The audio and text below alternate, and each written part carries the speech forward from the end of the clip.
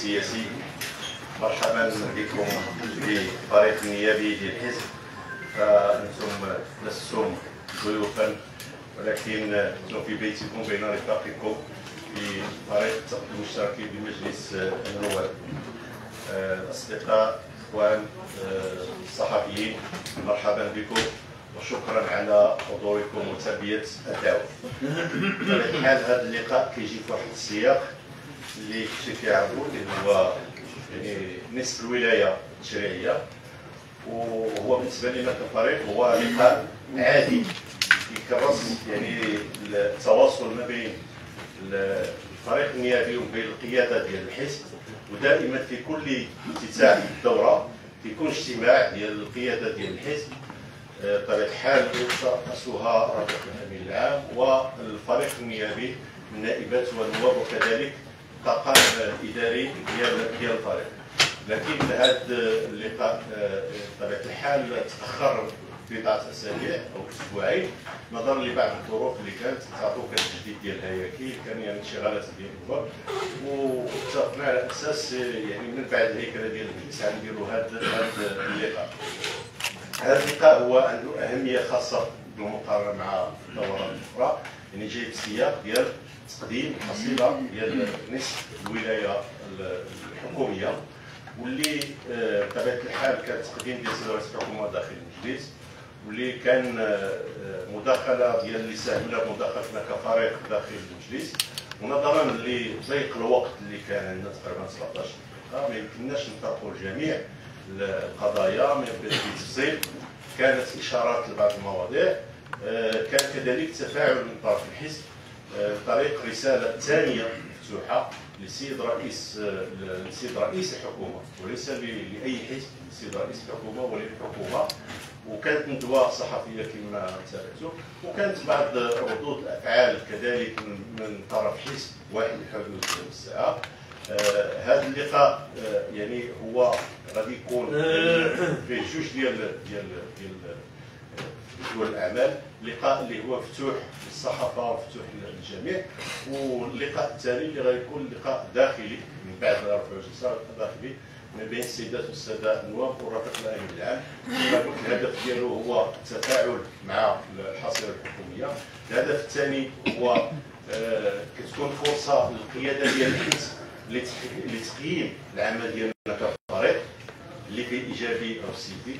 كذلك للتوجهات اللي اشتغلوا عليها من طرف القياده ديال الحزب فيما تبقى من هذه الولايات الحكوميه وكذلك هي فرصة لعرض بعض الخطوط العريضة لعمل ديال الفريق في المجال الرقابي ولا في المجال التشريعي حيث أن الفريق ساهم بعدد كبير يعني آلاف من من الأسئلة الكتابية والشفوية والمئات من عقد طلب الاجتماعات ديال اللجان. وكذلك تقريبا 25 أو 29 مقترح قانون اللي ساهم به الفريق. هذه المناسبه اللي كتقدم الجميع النواب والنائبات والمجهود اللي داروا هذه نصف الولاية. وكذلك الطاقم الإداري حيث الولاية الفريق كان يشتغل في جو جد جد إيجابي فيه التفاهم فيه ما عمر خصوصا التجديد ديال هياكل المكتب. المكتب الفريق الوحيد يمكن الحزب الوحيد اللي ما كانش مشاكل فيه نهائيا لأن الرفاق يعني لا يصبون إلى المناصب بل كل واحد كيساهم من من الجانب ديالو. آه هذا اللقاء بطبيعة الحال يؤثر يعني كما قلت يعني في المداخلة ديال الأمين العام. والمستجدات السياسيه الوطنيه العامة ونفتحوا يعني الجلسة الثانية للنقاش فيما هو داخلي بين الفريق وبين الحزب. حتى لا اطيل عليكم اعطي الكلمة للرفيق الأمين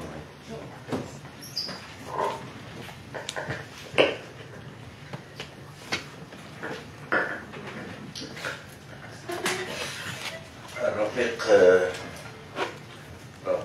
رئيس فريق التقدم والاشتراكية بمجلس النواب الرفيقات النائبات المحترمات الرفاق النواب المحترمون رفيقاتي رفاقي في الديوان النظام السياسي لحزب التقدم والاشتراكية وفي اللجنة المركزية للحزب رفيقتي رفاقي في إدارة الفريق بمجلس النواب الأخوات والإخوة الأعزاء في وسائل الإعلام الوطنية صباح الخير سعيد جدا بأن أتواجد معكم هذا الصباح في اجتماع كان مقررا منذ أيام مع بين المكتب السياسي للحزب والفريق النيابي لحزبنا.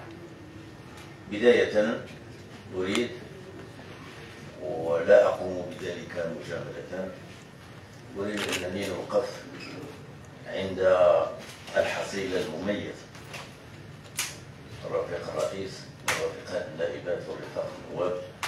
الحصيلة المميزة لفريقنا في مجلس النواب في أداء المهام البرلمانية المنوطة بكم سواء كانت متعلقة بالمهام الرقابية أو كانت متعلقة بالمساهمة في آه، الدور التشريعي المنوط بالبرلمان وبمجلس النواب تحديدا.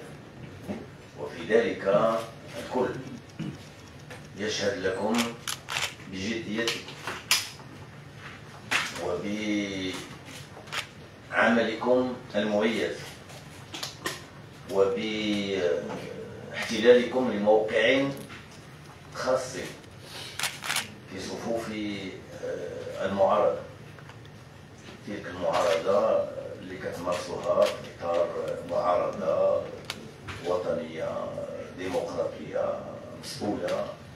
وبناء معارضة قائمة على المواقف قائمة على الاقتراحات قائمة على النقد البناء قائمة على مساعدة الحكومة بشكل فعال وملموس على جميع الأصعدة والدليل على ذلك ما تحتلونه من موقع في توجيه المساءلات الكتابية والشفوية للحكومة على جميع الأصعدة وأيضا ولو أن في ذلك صعوبات ليست من مسؤوليتنا الدور المميز الذي يلعبه الفريق على مستوى التنسيق جهود مختلف مكونات المعارضة أريد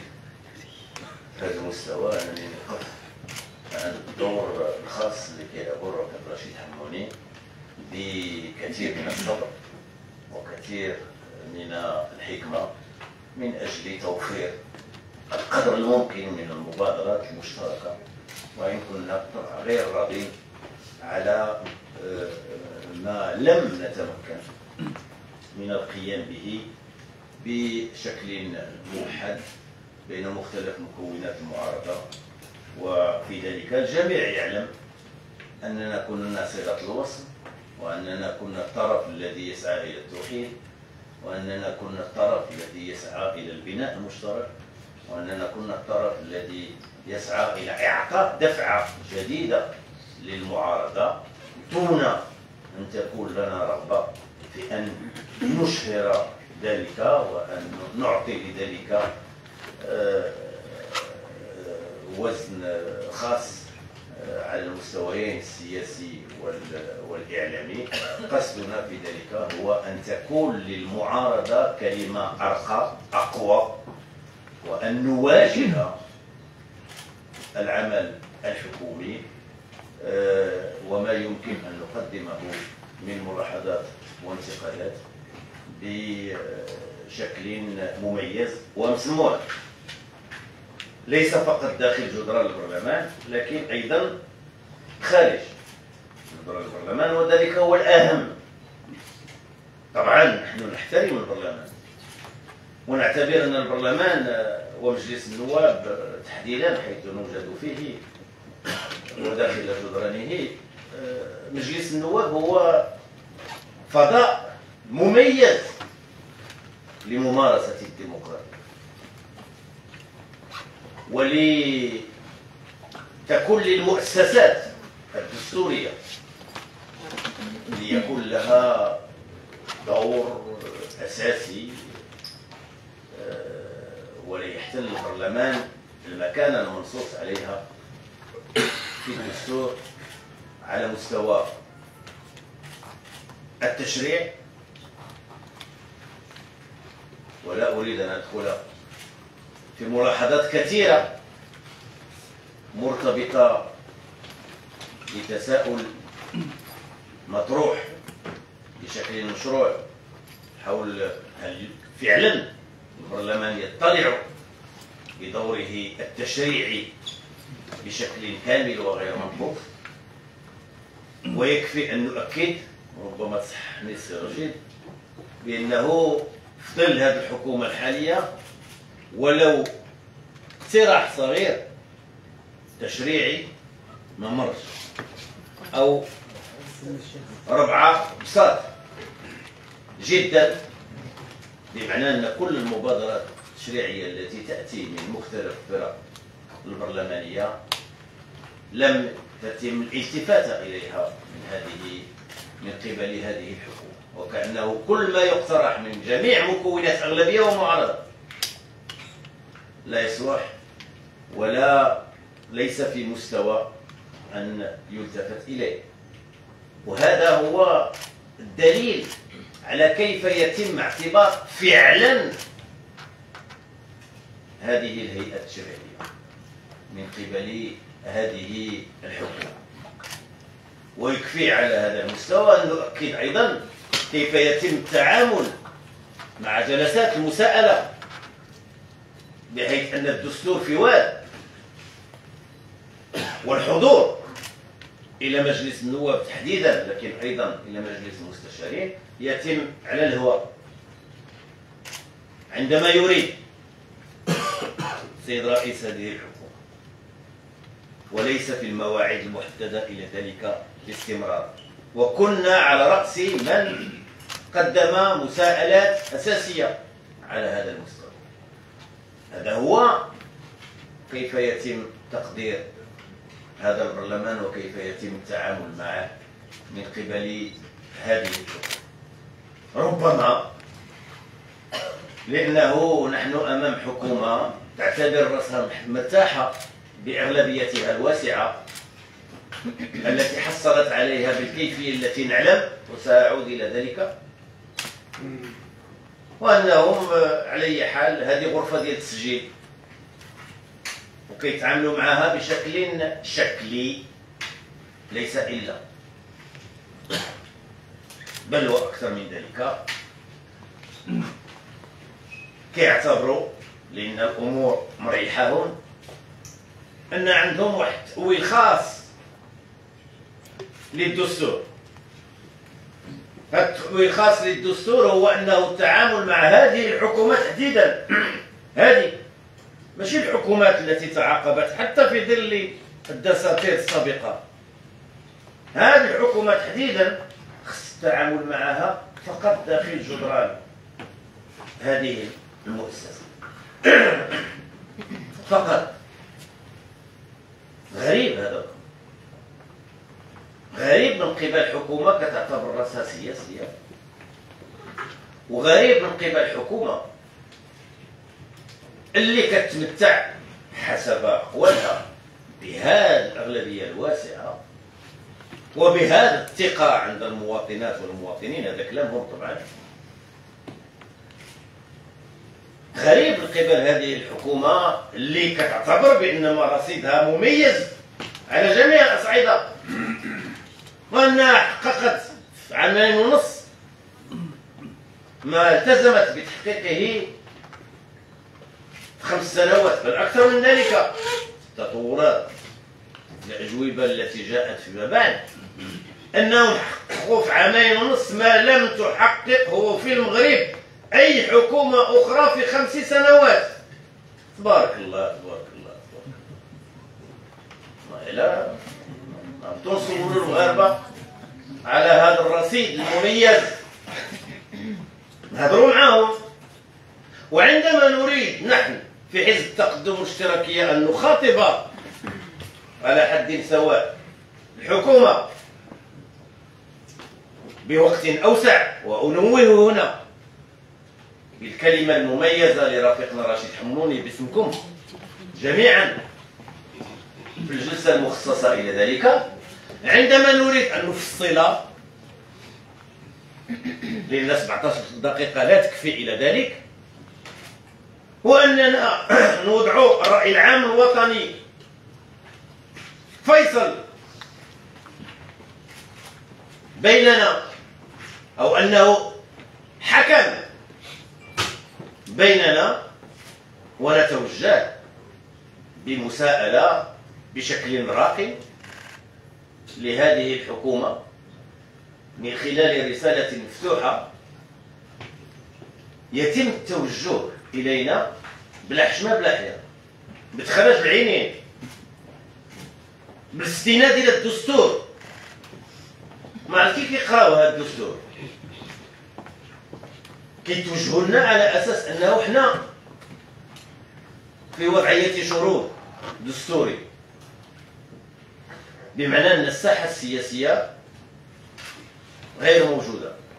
ما يمكنش نتكلموا فيها. بمعنى ما يمكنش نديروا تجمعات. بمعنى ما يمكنش نديروا اجتماعات ديال الهيئات السياسية ديالنا. بمعنى ما يمكنش نصدروا بلاغات.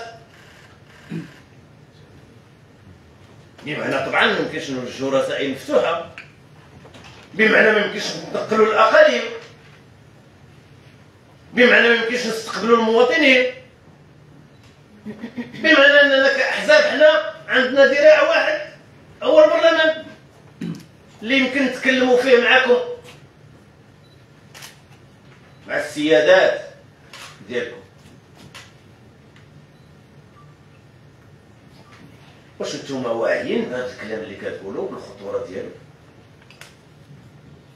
واش عمر شي أغلبية تجرأت أنها تتكلم بهذه الطريقة؟ واش ما نتوما ما واعيينش بأن هذا الأمر يعتبر تضييق على الممارسة السياسية السوية في بلادنا؟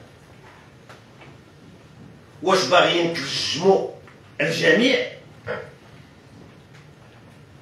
سكتوا المواطنين؟ وهناك أدلة على ذلك. ووسائل الإعلام؟ وهناك ما يحكى على هذا المستوى. وباغي ندوزو حتى الأحزاب السياسية حتى هي ما تبقى تتكلم معكم غير هنا. لأن الأمر مريحكم وحتى هنا. ما كتحترموش جميع المواعيد. الدستورية وما هو مفروض عليكم من واجبات. تأتون فقط داخل هذه هذين المجلسين للاستناد إلى الأغلبية اللي عندكم فيه من أجل تمرير ما تريدون أنكم تمروا. أما إذا انتقدكم شي شي واحد وقال شي حاجة لأنه اليوم يبدو لنا وكأنه حتى المعارضة ثم ما كت تعترفوا بدورها إلا إلا مشات في السياق ديال التطبيل وديال التصفيق لهذه الحكومة. أما إذا انتقدت بشكل مسؤول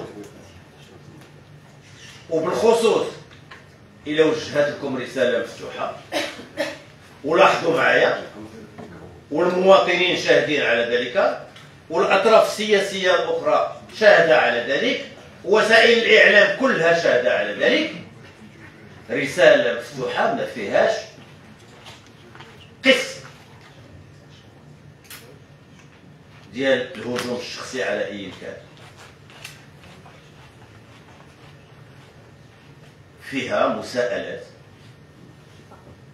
أساسية واعتبار فقط أنه المجيء أمام مجلس النواب وكذلك مجلس المستشارين خاصة في الأجوبة والقول بأن كل شيء تحقق وبانما السعادة المثلى هي اللي موجودة اليوم في المجتمع المغربي.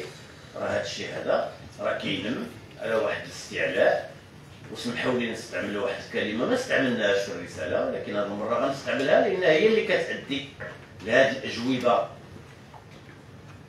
المنحطة اللي استمعنا إليها في اليومين الأخيرين. بحيث أنكم كتعتبروا بأن انطلاقا من الغرور اللي أنتم فيه بانكم حقيقة راكم ما كاينش شي واحد اللي استطاع انه يدير هذا الشيء اللي درت. والغرور عرفتوا شنو هو؟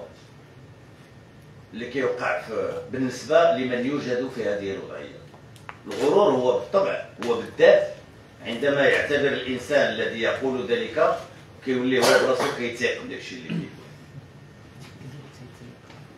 لأنه غائب عن الساحة بشكل ملموس. ما كنتكلمش طبعا. ما كنتكلمش على عشرات مئات ربما آلاف. المنتخبين والمنتخبات اللي كينتميوا لهذه الأحزاب المكونة للأغلبية وخاصة للحزب الذي يسير هذه الأغلبية لأن على الأقل هذوك موجودين في الساحة. كيتكلموا مع المواطنات والمواطنين. وعايشين معاهم.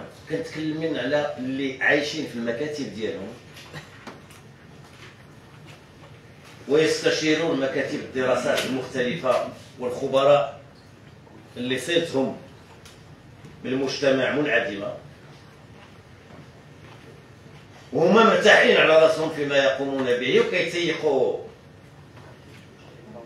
اللوحات لي طابلو لي كور اللي لا علاقة لها بالواقع الملموس اللي كيعيشه المواطن. نتكلم على هذا الشيء. اللي كيجعل أنه هناك حساسية مفرطة أمام أي انتقاد اللي يمكن نوجهه له. وفي هذا الباب ونحن نليح بداية على أنه إحنا في ممارستنا السياسية كحزب منذ 80 سنة معروف علينا احترام الأطراف السياسية كاملة. معروف علينا أننا عمرنا ما هجمنا شخصيا على شي معروف علينا أننا جديين في الطرح ديالنا كنتقدموا أمام الطرح بالطرح المضاد بالأرقام وبالتحليل. وندلي برأينا بجرأة وشجاعة. يمكن تعجب يمكن ما تعجبش. وتلقينا في مسارنا ضربات على ذلك. وبقينا مستمرين. حزب التقدم والاشتراكي منذ إن كان. ويستمر. واستمرار وتواجده في هذه القاعة. واستمرار تواجده. كأنشط حزب سياسي بدون منازرة من خلال اجتماعات أسبوعية وإصدار بلاغات أسبوعية في الساحة. نقول ذلك خصو يكون هذا أقل ما يمكن أنه ديروا أحزاب سياسية. مع الأسف ولينا شبه متفردين. استمرارنا على هذه الوجهة دليل على أننا حزب حي. حزب بقدر ما.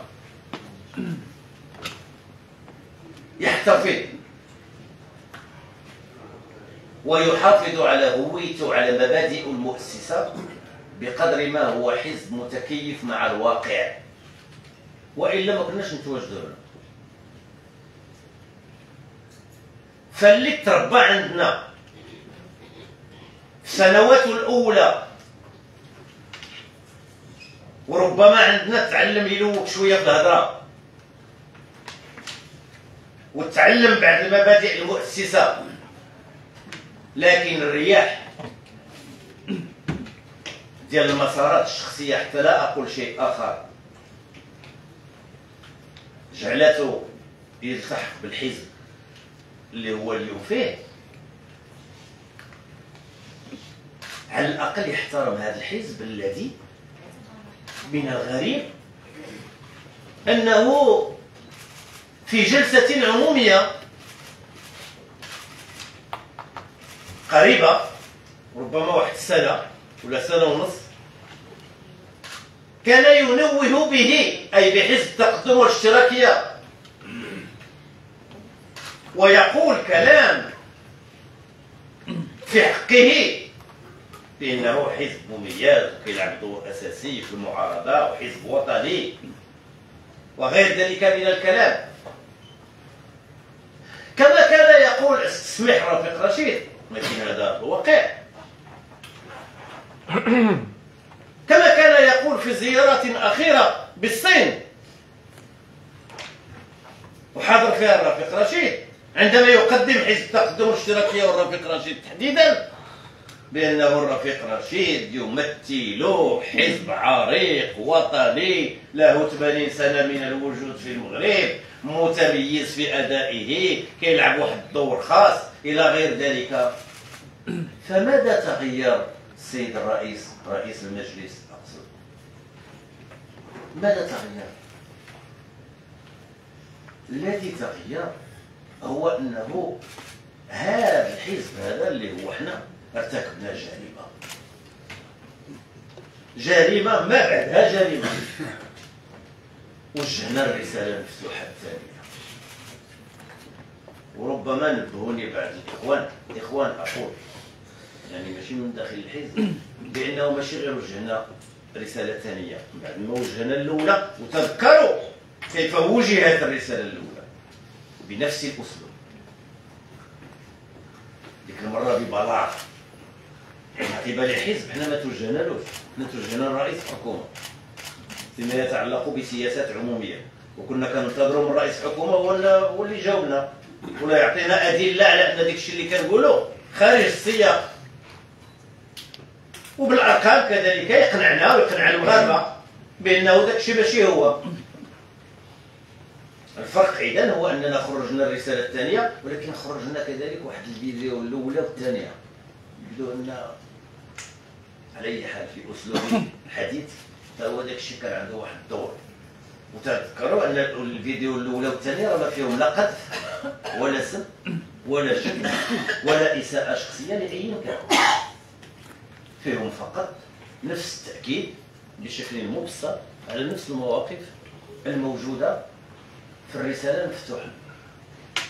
طبعا عندما توجه التعليمات لأن هكذا تسير الأمور في الحزب الذي نتحدث عنه. عندما توجه التعليمات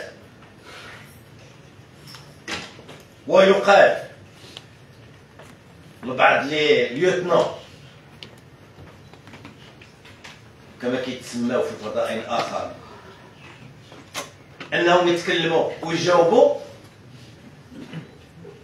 الجواب الوحيد اللي كنتوصلوا به هو ما استمعنا إليه.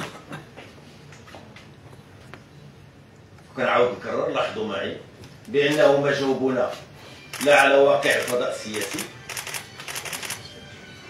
ولا على التشغيل ولا على الوضع الاقتصادي ونسبة النمو ولا على ثقة من عدمها في الفضاء السياسي ومناخ الأعمال ولا على الملايين ديال المغاربة اللي اليوم ما تبقينش في الفعل العمومي ولا على الحماية الاجتماعية والتعثرات ديالها ولا على الدعم المباشر ولا على السكن ولا على غير ذلك من الأمور اللي جبناها في الرسالة ديالنا. مرقمة مدعمة بتحليل. هادشي كله ما جاوبوناش عليه لاحظوا معنا. مشاو فقط لهجوم على الحزب. وعلى بعض الأشخاص داخل الحزب. هذا هو المستوى ديال السياسة. خاصة اسمحوا لي نقول لكم بأنه لما الأمر كيجي من عند بعض الناس هكذا على أي حال كيكون مؤسف. أما لما كيجي من قبل مسؤول كيحتل مرتبة عالية المؤسسات ديال الدولة وكيرأس هذه المؤسسة اللي حنا فيها اليوم. بهذا المستوى الساقط فتساؤلات عريضة تطرح بالنسبة لصحة وسلامة الفضاء السياسي اليوم. ربما أن الإخوان يتأثرون بالمصائب وبطبيعة الناس اللي دخلوا منا في الفضاء السياسي خاصة منذ انتخابات 2021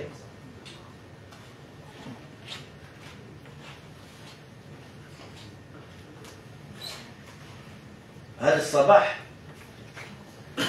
توصلت ببعض المكالمات الهاتفية من داخل صفوف التي تعبر عن استيائها أمام هذا الرد الصحيح اللي تقدم لنا في اللقاء الذي كان يوم السبت.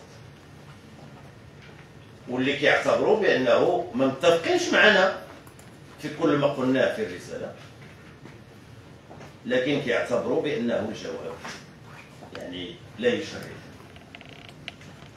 بتاتا خاصة عندما يكون من يدلي بهذه التصريحات هو رئيس مجلس النواب.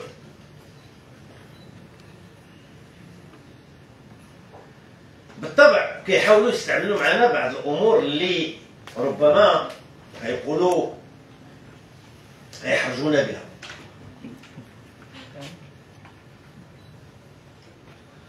بغيت نتوجه للسيد الرئيس ونقول له رئيس المجلس.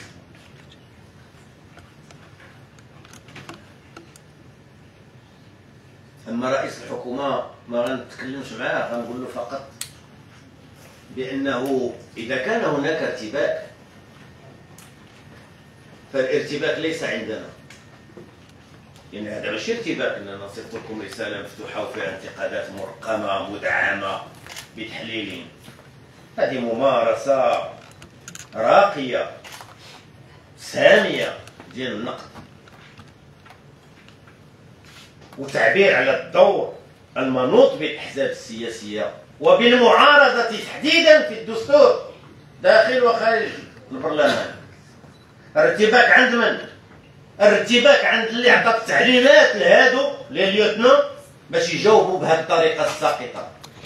ارتباك فين كاين لأنه لا يحق لأي كان أنه ينتقد هذه الحكومة شبه المقدسة. ما تنتقدوش.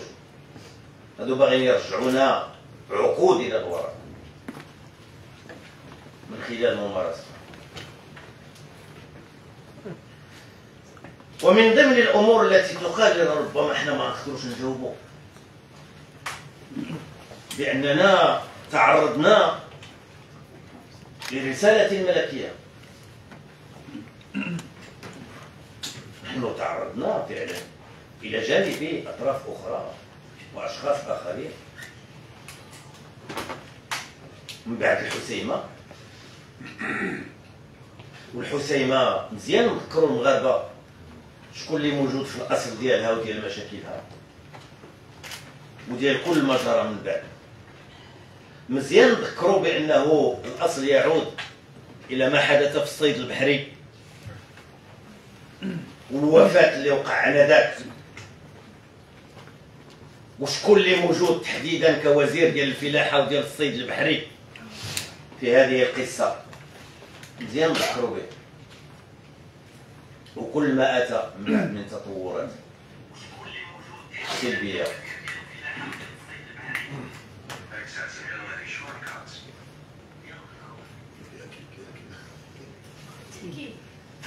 تمام مزيان تمام ياكلوا مزيان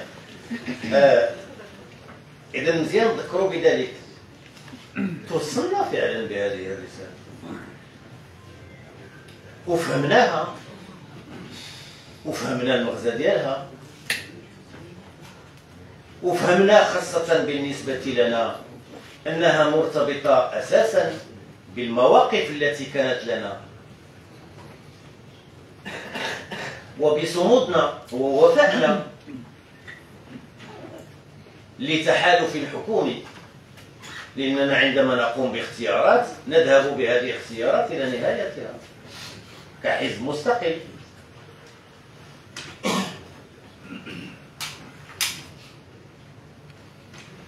إذا أدينا الثمن ديال مواقفنا والجميع يعلم ذلك. أدينا الثمن على مدى؟ أدينا الثمن على صمودنا. أمام ما كان يحاك من مؤامرات إزاء الفضاء السياسي. وكان من ضمن المنفذين الأساسيين. المنفذين. ماشي. ماشي الذي كان يقود هذه العملية وتحديدا تكون الأمور واضحة. من غادر اليوم الساحة السياسية والحمد لله.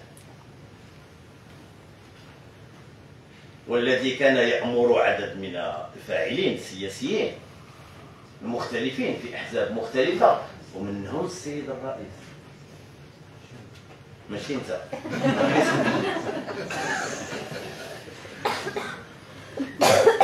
باش ينفذوا بشكل طيب وبخنوع. مجموعة من التعليمات التي أفسدت الفضاء السياسي وتدخلت في شؤون الأحزاب المختلفة وأدت إلى ما نحن عليه اليوم في هذا الفضاء السياسي من هو. بين الأحزاب والمؤسسات والبرلمان والحكومة والرأي العام الوطني وخاصة الفئات الشابة منها ففي الوقت اللي إحنا كنا كنصمدوا أمام ذلك البعض الآخر كان مساهم بشكل مباشر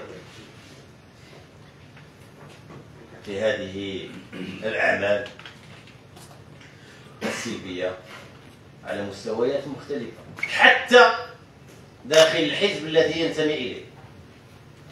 حتى داخل الحزب الذي ينتمي والذي عرف ما عرفه من انقلابات داخلية وتطورات داخلية لا أريد الدخول فيها. هذا أمر داخلي لهذا الحزب يتبرص بها. لكن الفاعل الأساسي في ذلك نعلم من هو وماذا كان ينفذ من تعليمات على هذا المستوى. فمن الأحسن أنه يعطينا اتساع. لأنه إلى قرر أن يستمر خاصة في توجيه بعض الاتهامات والكلام الساقط إزاء حزب تقدم الاشتراكية عندما يريد أي شخص أن يستعمل هذا الأسلوب في العمل السياسي أي الهجوم الشخصي والهجوم على الأشخاص ما فيها بس ينقي بالضرورة وما فيها بس أن البيت ديالو يكون من زوج ما يكونش من زوجاج بالطبع حنا في حزب التقدم الاشتراكيه ما كنستعملوش. اسلوب معين ولن نخوض في ذلك. ولكن لما كيتوجه الإنسان للشركاء ولحزب يضم في صفوفه مناضلين تسمو ومسؤولين في الوزارات وفي غيرها اللي بتسمو بالاستقامة والنزاهة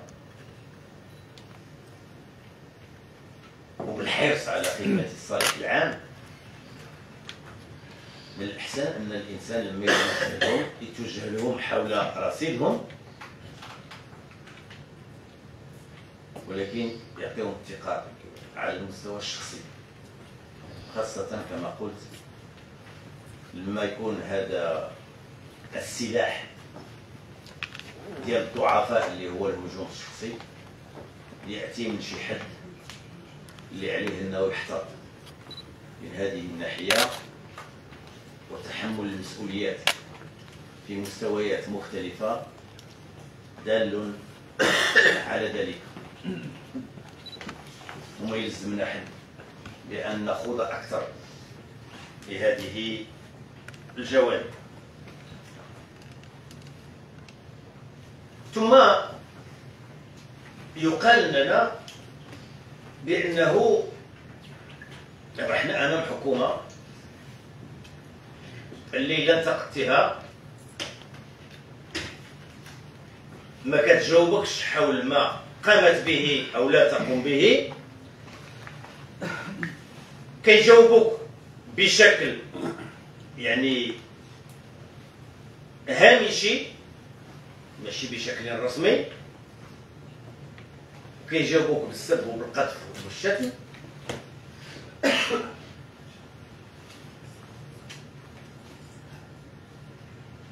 وكيقولوا لك بأنه حنا يعني حنا أولا توجهوا لهم شي حد آخر حتى هما غيقولوا لهم أنتم فشلتي كيقولوا هاد الاحزاب الاخرى بأن حنا كلشي فشل. وبأن المغرب عمليا بدا في 2021 عاد بدا المغرب عاد بدات الخدمه غير كينساو واحد المسألة أساسية. هو أنهم هما حنا هذه 20 عام وغنرجع لها. ولكن هما راه هذه 40 عام. وهما في حكومات متتالية. 40 عام. والزيادة 45 تقريبا. فماذا تقولون الآن؟ بأن كل هذه الحكومات اللي شاركتوا فيهم قبل التناوب وبعد التناوب كلهم فشلوا. حتى جيتوا نتوما عندكم رئاسة الحكومة وراه كانت عندكم رئاسة الحكومة من قبل. اللي كانت كتسمى الوزارة الأولى آنذاك. راه كانت عندكم. وأنه المغرب لم يقم بأي شيء وجات هذه الحكومة اللي حقيقة هي اللي حققت كل شيء ما لم تحققه أي حكومة أخرى. هذا هو الطرح اللي وبالمناسبة أريد أن أؤكد على شيء. ماشي ماشي لأنه يعني وكأننا سياسيين كنحاولوا نخطيو ولا كنحاولوا نحافظوا لأن الواقع يدل على ذلك والمواقف تدل على ذلك. نحن نقدر عاليا المسار ديال هذا الحزب. كما نقدر مسارات ديال الاحزاب الوطنية. هذا الحزب الذي ينتمي إلى فئة معينة لا أريد أنني نكرر الكلام اللي كان كيتقال خاصة أيام الكتله الديمقراطية على هذه الأحزاب. ولكن هذا الحزب كان له مسار وفي ذلك المسار تفرد بعض الشيء.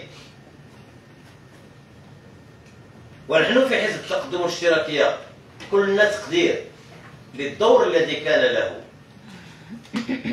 آنذاك من أجل المساهمة في فتح الباب لمزيد من الديمقراطية ومزيد من حقوق الإنسان وغير ذلك. ما كانوا واحد الأعداد ديال القامات. كيسيروا هذا الحزب والتي كانت لنا معهم كحزب وحتى على مستوى شخصي ورغم صغار سني. أنا لا.